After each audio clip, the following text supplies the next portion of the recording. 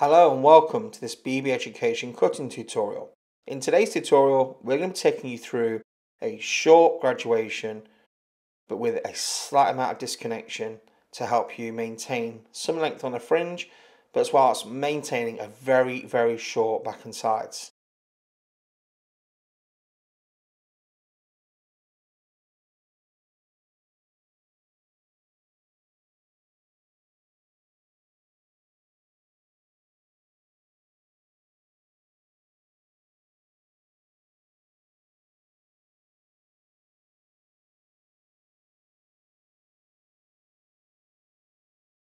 The haircut is started at the side on a diagonal back section.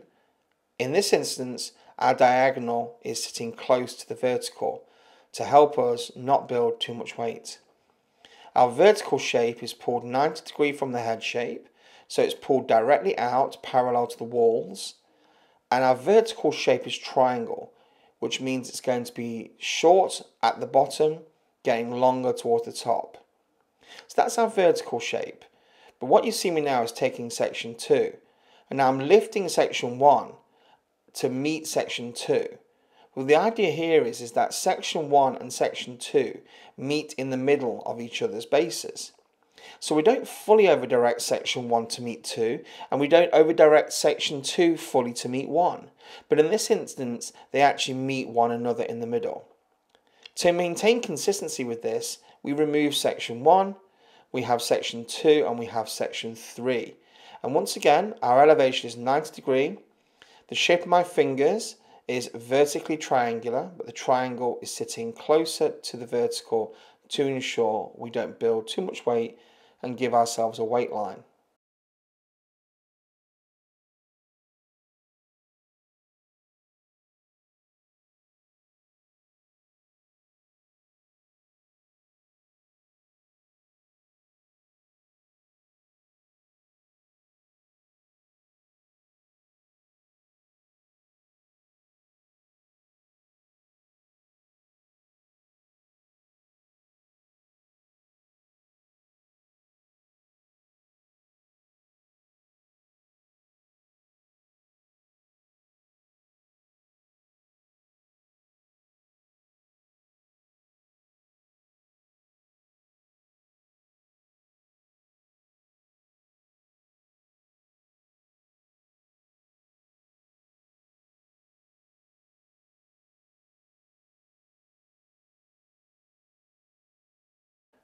So now you'll see us working our section, working long at the top and working short into the nape. This will cross over into the hairline, working further into the other side at the bottom than the top of our section. So don't be alarmed if your section is crossing over past the middle of the back of the head. You see the shape it's giving us here, this beautiful short external shape, but giving us a long, heavier shape at the top. This is now completed, so we're free to go ahead and start the other side. In the same way, it's diagonal back section working closer to the vertical, pulled out 90 degree from the head shape.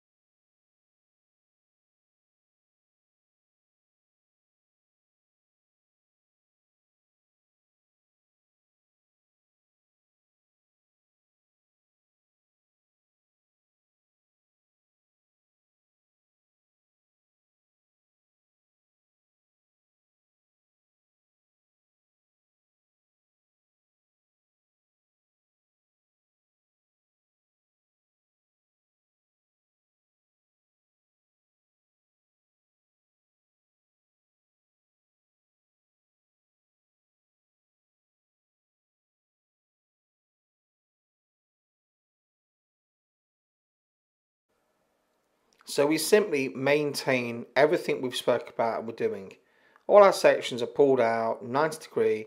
The very top of our section is just slightly lower to ensure that we don't take the haircut too short as the head rounds away. But all our sections, especially the nape here, are working quite close to the head. So you'll notice our sections, the lower you go with this haircut, you'll notice that your fingers are closer to the actual head shape. And the higher you go, the further away your hand is.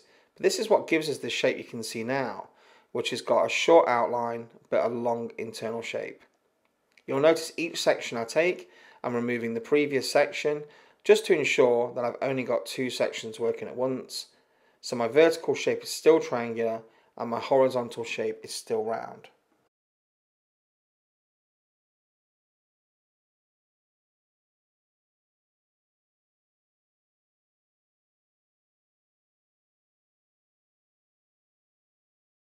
What you'll notice here is I now have a guideline from the other side. That's the great thing about your first section crossing into the other side. It really helps us to anchor what we're doing and connect into both sides. That's a great way of checking as well. Now we can restart the side we started with, ensuring we connect into the other side. This is what I call crossover graduation. It's where I'm using a guideline from both sides, one at a higher point and one at a lower point. And this enables me to ensure that my weight is in fact built around the curve of the head or the occipital bone and not built horizontally. This would give us a flatter effect around the curve of the head opposed to the shape we have which means the weight is following the curve of the head seamlessly and giving us a fluid shape.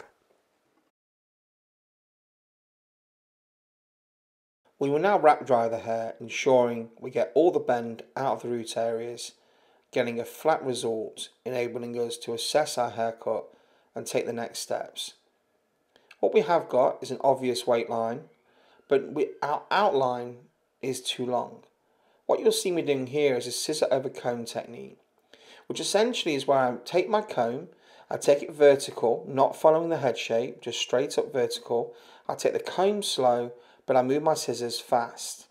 This is a little bit like using a clipper, but the difference is this enables me to really vary the amount of hair that's taken off and really build that around the head shape. In my opinion, this is a much more tailored way of giving a really short external shape opposed to the clippers that are a little bit more definite and give a bit more of a aggressive technique. This gives a very soft, tailored finish to our haircut. We're utilizing the weight line that we built in with our short graduation as an example of where we're going to lift our orange comb up and stop the cutting motion.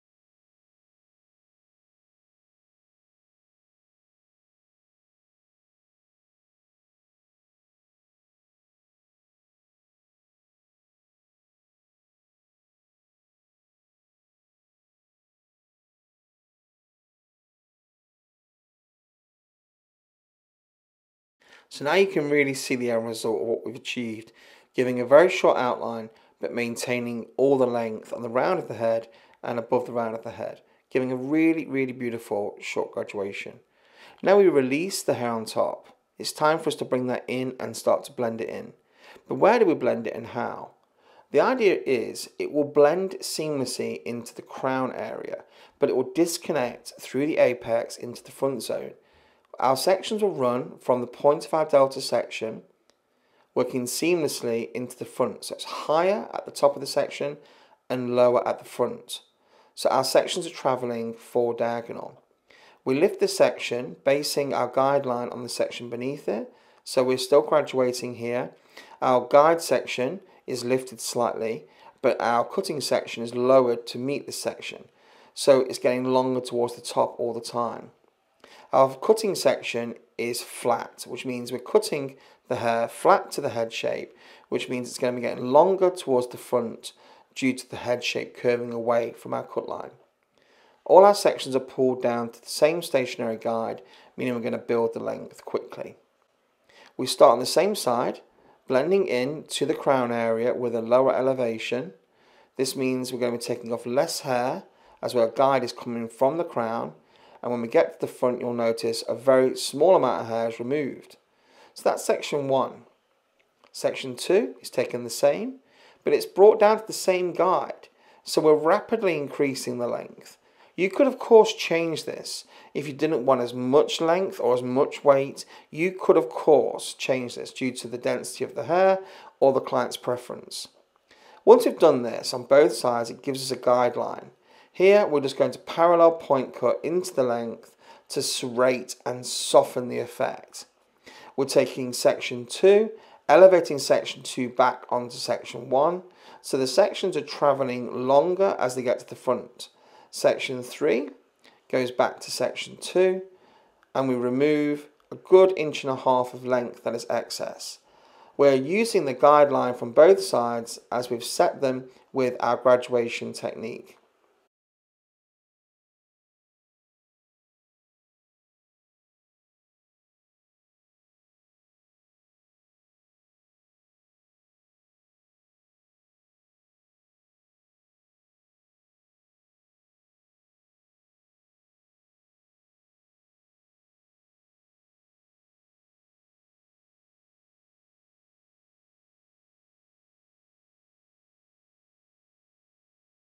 When I texturise, I often follow the same way I've cut the hair. So you'll notice I started at the sides, which is where I started to base my guideline for the top.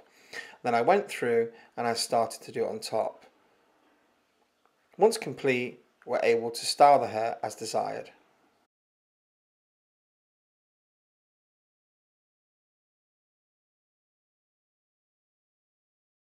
And that completes this tutorial. We really hope you've enjoyed it and we hope to see you again soon.